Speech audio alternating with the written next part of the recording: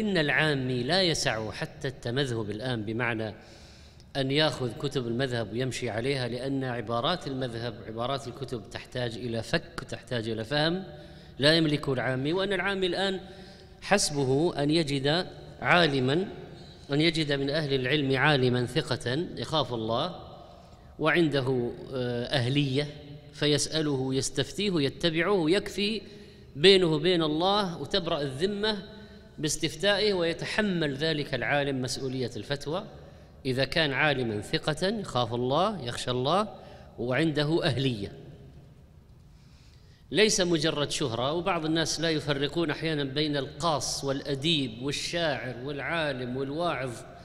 ما يفرقون. وذاك يجب التفريق هذا دين وأمانة.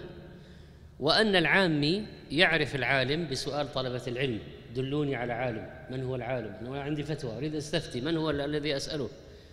وكذلك يعرف العالم العالم باشتهار أمره بين أهل العلم وليس بين العامة. العامة قد يشتهر بينهم واحد الآن خصوصا في عصر الفضائيات ليس بأهل.